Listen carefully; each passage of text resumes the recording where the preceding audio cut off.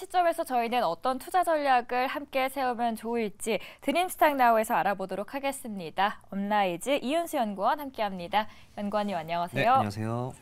주말 잘 보내셨습니까? 네, 뭐 푹 쉬고 왔습니다. 새로운 시작을 또 하신다고 들었는데. 아, 네, 뭐 제가 또 이 있는 자리를 또 다른 곳으로 거처를 옮기게 됐습니다. 어, 뭐 아직 이게 뭐 완전히 옮긴 건 아니라서 음. 옮기면 네, 뭐 어디로 옮겼다라고 좀 말씀을 드리도록 하겠습니다. 네, 새로운 네. 출발 응원을 하도록 감사합니다. 하겠고요.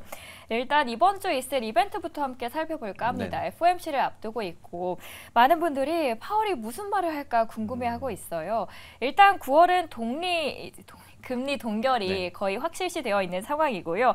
다만 좀 우려스러운 건 일단 기대 인플레이션이 예상보다는 낮게 나왔습니다. 그런데 지금 유가가 너무 높게 올라가고 있고 또 미국에서 밀이랑 옥수수 가격도 이 가뭄이 너무 피해가 심하다 보니까 앞으로 더 올라갈 수 있다라는 우려 섞인 이야기들이 나오고 있습니다. 9월 FOMC 어떻게 보십니까? 네, 아까 이 말씀하신 이 유가나 곡물 식품 가격 문제 때문에 뭐 금리는 시장이 이제 뭐 동결할 거다라고 음. 보고 있고 그래서 중요한 건 아까 말씀하신 점 때문에 이 기자회견이 중요하다라고 음. 생각이 됩니다.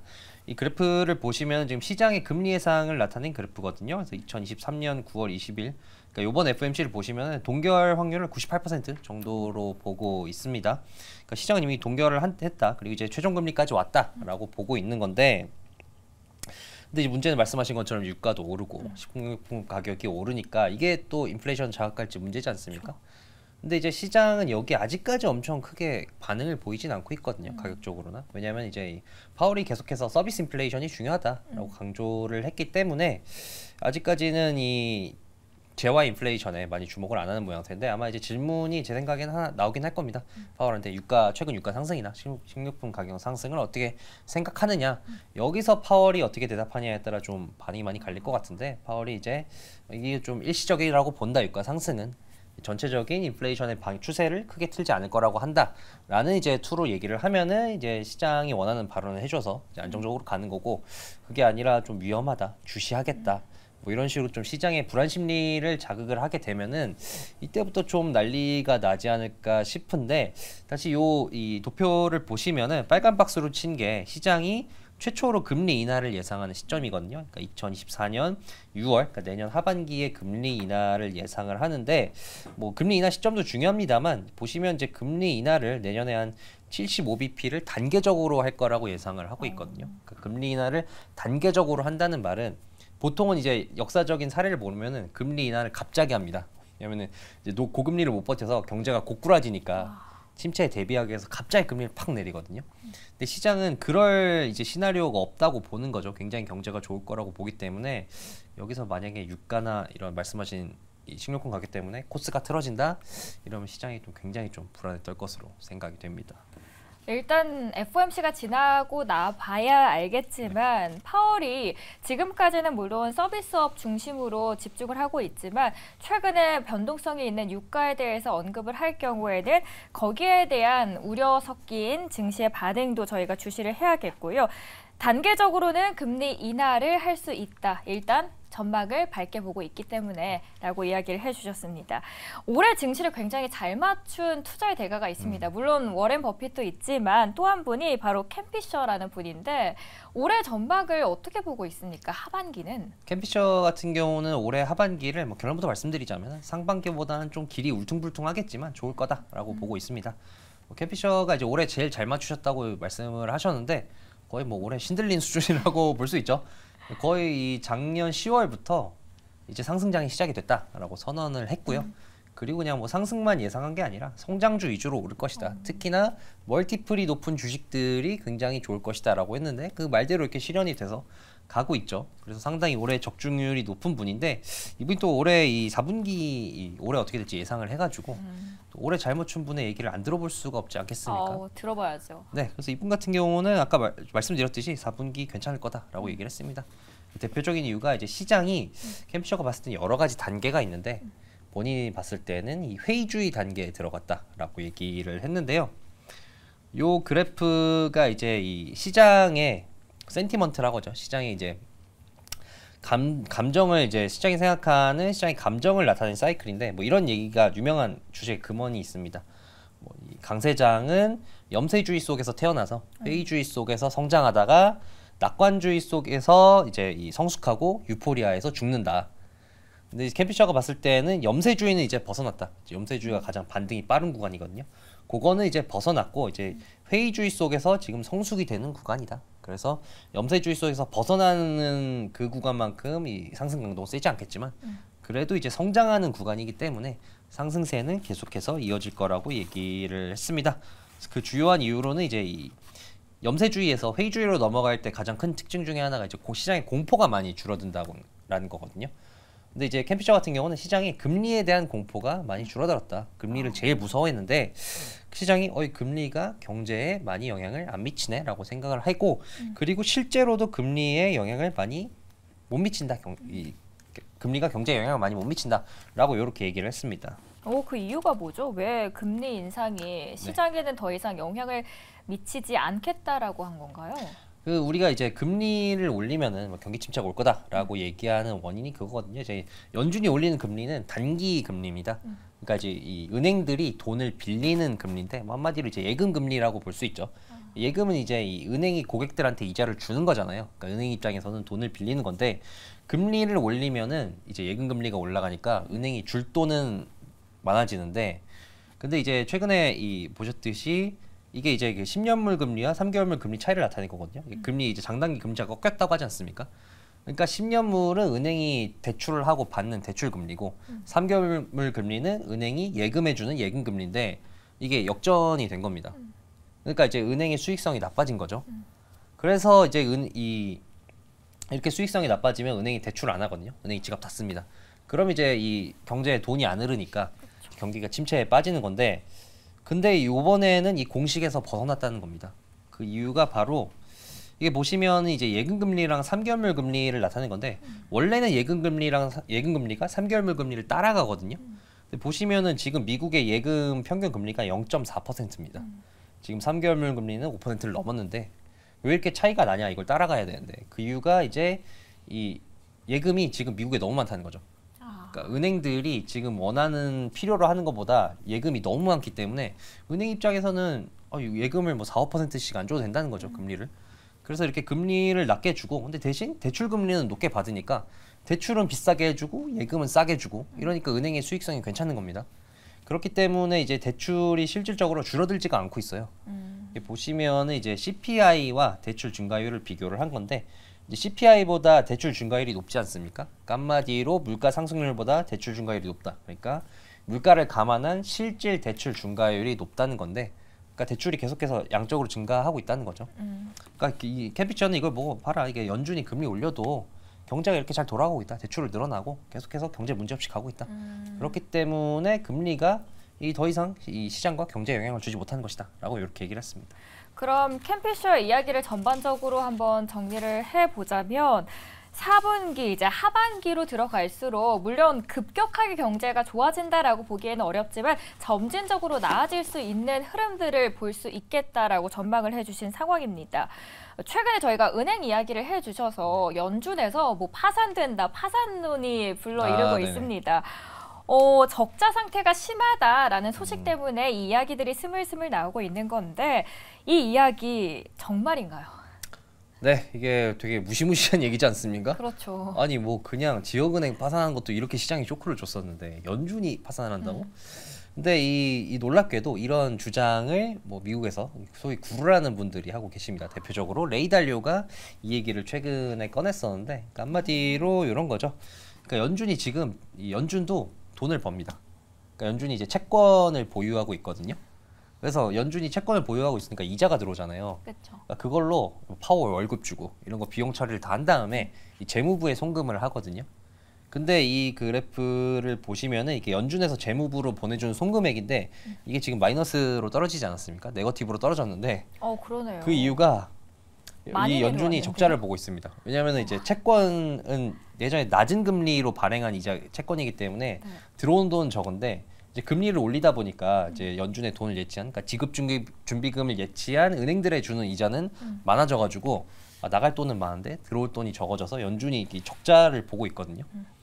근데 이제 이 이런 주장은 이겁니다. 연준이 지금 이렇게 적자를 보고 있는데 경기 침체가 오면은 또 금리 내리고 연준이 또 돈을 찍어줘야 되지 않겠습니까? 양쪽 완화를 해야 될 텐데 근데 지금 연준이 한계 상황인 것 같다라는 거죠. 아까 보- 지금 보셨듯이 적자도 보고 있고 그리고 이 그래프가 GDP 대비 재정 적자랑 GDP 대비 연준의 채권 보유를 나타내는 건데 특히 이제 오른쪽 GDP 대비 연준의 채권 보유 비율을 나타내면 보면은 거의 뭐 이게 50년 이래로 가장 높은 수준입니다. 네. 연준의 채권 보유가. 그러니까 적자도 뭐 여- 이례적으로 많이 봐. 채권도 이례적으로 많이 들고 있어. 여기서 연준이 더 채권 사주고 돈을 찍을 여력이 있느냐 라는 거죠. 그래서 연준이 이 다음에 돈을 풀 때는 좀 한계에 와서 한계에 봉착할 거다. 뭐 그렇게 되면은 이제 이 대공황 같은 이런 끔찍한 굉장히 경기 침체가 벌어질 거다라는 주장인데 켄 피셔는 이에 대해서 연준이 파산할 일 없다 라고 어. 얘기를 합니다. 일단 파산할 일은 없다라고 긍정적으로 계속 이야기를 해주셨어요. 저는 그래서 이 부분이 궁금한데 유가입니다. 방금 전에 들어온 소식에 의하면 블룸버그에서도 이제 95달러까지도 더 올라갈 수 있다라는 소식이 이어졌고요. 그런데 경기는 계속 좋아질 거다라고 캠피션 이야기를 하고 있습니다. 네네. 전 아무리 봐도 유가가 발목을 잡을 수밖에 없다고 음. 보이거든요. 그런데 왜 그럼에도 불구하고 캠피션은 아니다 좋아질 거다라고 이야기하는 건가요? 아, 네, 뭐 캠피셔 같은 경우는 뭐 워낙에 긍정적인 분이시기도 하지만 그러니까 한 이유가 그렇습니다. 이제 이 작년 10월부터 계속해서 감사한 시도가 있었거든요. 그러니까 캠피셔가 보기에는 유가가 최근 반등하긴 했지만 아직 추세가 바뀌지는 않았다. 그러니까 이 감사한 시도로 추세가 뭐 유의미하게 바뀌기는 본인이 봤을 때는 어려워 보이고 그리고 만약에 유가가 설사 100달러를 넘는다고 해도 이 모두 시장 모두가 바라는 소프트 랜딩에는 지장이 없다라는 건데 뭐 과거를 보시면은 요 그래프는 이제 이 파란색이 유가고 이 주황색이 미국의 경제 성장률이거든요. 그러니까 이때가 당시 2010년대 초반이었는데 이때 당시에는 유가가 100달러가 넘었습니다. 근데 미국은 경제 성장 굉장히 잘해 나갔거든요. 음. 그렇기 때문에 주- 과거에 유- 유가가 100달러가 넘어도 경제 성장을 잘한 사례가 있기 때문에 유가가 소프트 랜딩에 크게 지장을 안 줄 것이고 그리고 또 과거와 달리 이 에너지 소비가 경제에서 차지하는 비율이 적어졌다는 거죠. 예전에는 뭐 제조업 제조업 비율이 컸으니까 이 에너지 소비가 경제에 차지하는 비율이 컸고 그만큼 이제 유가가 경제 중 영향이 컸는데 지금은 뭐 이제 제조업보다는 서비스업이라든지 뭐 IT 이런 쪽이 이제 비중이 크다 보니까 과거에 비해서 유가가 경제에 덜 영향을 준다는 거죠. 음. 그래서 캠피셔 같은 경우는 이 유가가 이 그렇게 걱정거리가 안 될 것이다 라고 주장을 합니다. 물론 저는 그렇게 생각하지는 않습니다만 어, 그거와 반대되는 의견을 네네. 갖고 있으신 거네요. 네, 캠피셔 같은 대가에 반대하기가 참 어렵긴 합니다만 네, 이 듣고 유- 싶습니다. 그렇죠. 근데 이제 유가가 단순히 에너지 측면에서는 그런데 저번에 말씀드렸듯이 우리가 이제 원유로 여러 가지 만든 거죠. 이 옷도 사실은 기름으로 만드는 들어가죠. 거고 이 플라스틱도 사실 기름으로 만드는 거고. 그러니까 요런 이제 들어가는 이제 재료비가 비싸지게 되면은 음. 지금 아까 이 요 그래프가 이제 이 PC에서 여러 가지 항목별로 나눈 거거든요. 이 파란색이 서비스 물가고 빨간색이 내구재고 이제 비내구재가 초록색인데 그러니까 내구재랑 비내구재는 한마디로 이런 물건이라고 보시면 됩니다. 이 물건 가격의 상승률은 2021년도 4월에 정점을 찍었다가 이미 떨어져서 하락을 하고 있는데 서비스 물가만 계속해서 좀 유지가 되고 있고 근데 서비스 근데 지금 다시 꺾였던 이런 내구재나 비내구재 물가가 다시 오르기 시작한다. 이렇게 되면은 이제 경제에 상당히 영향을 줄 수가 있죠. 아, 일단 캠피셔께서는 어, 긍정적으로 이야기를 해주셨습니다. 유가가 아무리 상승을 하더라도 하지만 연구원님께서는 또 유가가 그래도 우리가 입는 옷에도 들어가고 다양한 곳에 포함이 되어 있다 보니까 영향을 저희가 피할 수는 없다라는 입장을 이야기해 주셨습니다. 그렇다면 이 캠피셔 투자의 대가 언제까지 이 장이 계속해서 올라갈 거라고 보는 건가요? 이분도 당연히 아 그래도 언젠가 내려가겠지 할 거 아닙니까? 이분 같은 경우는 이제 항상 한 얘기가 있거든요. 나는 3개월에서 30개월까지만 예측한다. 어. 그 이상을 예측하는 거는 의미가 없는 일인데, 그러니까 내가 예측하는 시계열, 그러니까 3에서 30개월까지는 음. 시장이 괜찮을 것 같다. 그러니까 한마디로 24년도 좋을 것 같다는 얘기죠. 뭐 저희가 듣기엔 굉장히 행복한 얘기지 않습니까? 24년까지 상승이 이어진다니. 그래서 네. 24년까지 상승이 지속될 거라고 얘기를 하는데 그냥 뭐 근거 없이 이렇게 얘기하는 건 아니고 캠피셔는 지금의 상승이 굉장히 세다고 이렇게 보더라고요. 그 이유는 이제 우리가 하락장에는 항상 구조 조정이 따라오거든요. 그래서 구조 조정이 끝나고 이제 상승으로 전환 전환이 되는 건데, 근데 우리가 지금 어 요번 하락장에 어떤 구조 조정이 있었을까라고 생각하면은 뭐, 뭐 지역은행 사태 같은 것도 있었긴 합니다만, 뭐 갑자기 금융위기처럼 무슨 이 줄도산이 있고 그러진 않았잖아요. 그래서 우리가 아, 아직 구조 조정이 안 찾아온 건가? 경기 침체가 오면은 정말 하락장의 구조 조정이 일어나는 건가?라고 생각들을 하고 있는데 캠피셔는 아니다. 이미 구조 조정이 일어났다 라고 얘기를 합니다. 그 대표적인 게 바로 이 기억하실지 모르겠습니다만 2020년, 21년 이때 뭐 메타버스, NFT 뭐 이런 게 엄청 열풍이었잖아요. 엄청 열풍이었죠. 네. 그런 것들이 이제 이 구조 조정이 됐다는 겁니다. 아. 그런 기, 그런 이제 상품들이 사라지면서 그러니까 이게 이제 연도별 ETF 상패 추이를 나타낸 거거든요. 보시면 22년, 23년 이 상패가 굉장히 많지 않습니까 ETF? 근데 이런 상패된 ETF의 대부분이 아까 말씀드린 뭐 메타버스 ETF, AI. 뭐 NFT ETF 뭐 그런 것들이라고 합니다. 그러니까 그런 이제 소 시장의 거품 같은 부분들이 이미 거쳐졌다는 거죠. 그러니까 그렇게 거쳐지면서 이제 어느 정도 구조 조정된 측면이 있다. 그리고 뭐 최근 이제 하락장 저, 이 들어오면서 뭐 스타트업이 어렵다 이런 얘기 많이 나오지 않았습니까? 그러니까 그런 스타트업도 어떻게 보면 좀 거품이라고 볼 수 있는데 그러니까 그런 스타트업도 정리가 되면서 이 시장은 이미 구조 조정을 마친 시장이고 그러니까 구조 조정을 마쳤으면은 이 상승세가 굉장히 강할 수밖에 없다라는 주장입니다. 일단 캠비션은 거품이 빠졌기 때문에 지금이 본격적으로 이제 시장이 상승할 수 있는 기반이 다져졌다라고 이야기를 하고 있습니다. 연구원님께서는 AI에 대해서 긍정적으로 바라보고 계시잖아요. 네.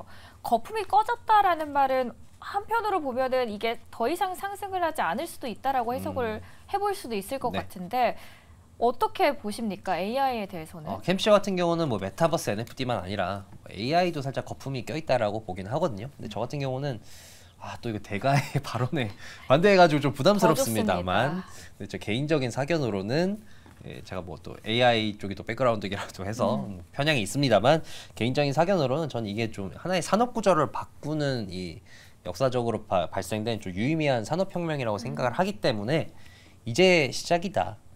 뭐 아직은 뭐 거품이 꺼지고 말고가 아니라 이제 아직은 바뀌려면 이제 막 시작되고 있거든요. 아직도 네. 지금 엔비디아 이제 앞에 줄 서가지고 좀 집- GPU 좀 주세요라고 손을 벌리고 있는 상황이고 아직 소프트웨어 기업들이 그거 가지고 뭔가 해보려고 여러 가지 막 지금 노력들을 하고 있기 때문에 아직은 이제 시작이라고 봅니다. 저는 AI는. 음. 이제 시작이다라고 이야기를 해주시면서 반도체 이야기도 해주시 주셨는데 네. 저희가 이제 국내장에서 보면은 오늘 필라델피아 반도체 지수가 이제 금요일에 굉장히 많이 하락을 하면서 네. 국내 반도체 지수 관련된 종목들이 모두 일제히 하락을 하는 모습을 연출을 했습니다. 반도체에 대해서는 어떻게 보실까요? 아, 네. 뭐 TSMC 이슈 때문에 그게 이제 필라델피아 지수 영향 받고 우리나라 이제 반도체 기업들도 영향을 받은 거죠. 물론 이제 이 수급이 과열된 측면이 조금 있기는 합니다. 뭐 엔비디아 재고 같은 경우도 어, 재고가 이거 뭐 수요가 탄탄한 건 맞는데 너무 급격히 쌓인 거 아니야? 그렇죠. 라는 지적들이 있었거든요. 그래서 물론 이제 조정을 받을 수는 있습니다만 뭐 장기적으로는 계속해서 수요가 늘어날 거라고 보다 늘, 늘어날 것 같다라고 저는 이렇게 보고 있습니다. 아 그리고 이제 말씀을 못 드렸는데 캠피셔 같은 경우는 그럼 결론 뭐 어떻게 하라는 거냐? 네. 여기까지 좋은데 캠피셔 뭐 성장주를 한마디로 계속해서 들고 가라 라고 얘기를 합니다. 어디까지 들고 가냐? 자기가 봤을 때 이게 이게 이제 S&P 500 주가거든요. 그러니까 S&P 500이 본인이 봤을 때는 정고점을 뚫을 것 같은데 이제 그 역사적인 패턴을 보면 사람들이 하락장에서 이제 상승장으로 전환돼서 정고점을 딱 도달했을 때 그때 제일 많이 판대요. 음. 왜냐면 이제 우리가 이제 손실 회피 편향이 있지 않습니까? 손실을 피하고 싶은 편향이 있기 때문에 본전치기라고 하고 싶어서 이때 파는데 이때 절대 팔지 마라. 오히려 정고점 도달하면은 더 들고 가라라고 하면서 이런 통계를 보여주더라고요. 이게 이제 정고점 도달 이후에 이 수익률이나 상승 기간이 어떻게 됐나라는 건데 이제 뭐 결론은 보시면은 이제 정고점에 딱 도달했을 때 그 이후까지 수익률이 평균적으로 118%였습니다. 중간값은 41% 47%였고요. 그리고 상승도 한 45, 정고점을 도달하고 나서 한 45개월 정도 평균적으로 상승이 지속됐고 중간값은 33개월이었습니다. 어떻게 보면 이때부터가 뭐 진정한 상승의 시작이라고 볼 수 있는 거죠. 그래서 캠피셔 같은 경우는 여러 가지 뉴스가 들리고 막 아, 이거 상승 지속되면 불안하겠지만 성장주 사서 그대로 버텨라 라고 이렇게 계속해서 조언을 했습니다. 그럼 마지막 질문을 여쭤볼게요. 성장주 안에서 캠피쇼가 가장 유망하게 보는 기업도 특별하게 있어요? 네, 켄 피셔 같은 경우는 이제 multiple이 높은 기업들을 이제 자주 이, 굉장히 지금 좋게 보고 있거든요. 뭐 IT뿐만이 아니라 특히 그 럭셔리 주식이라고 하죠. 루이비통이라든지 이런 명품 주식도 굉장히 좋다. 이 기업도 이제 이 굉장히 불황을 타지 않고 multiple이 높은 주식이기 때문에 럭셔리도 추천한다라고 이렇게 얘기를 했습니다. 어, 성장주 안에서도 multiple이 높고 그리고 명품 쪽을 바라보고 있었습니다. 저는 오히려 연구원님께서 뭐 투자의 대가 의견과 반대되는 이야기를 해서 좀 너무 그렇다라고 말씀을 해주셨지만 네. 오히려 다양한 이야기를 들을 수 아, 있어서 감사합니다. 더 좋았습니다. 오늘 이 시간 함께하신 분은 업라이즈 이윤수 연구원이었습니다. 오늘 말씀 고맙습니다. 네, 감사합니다.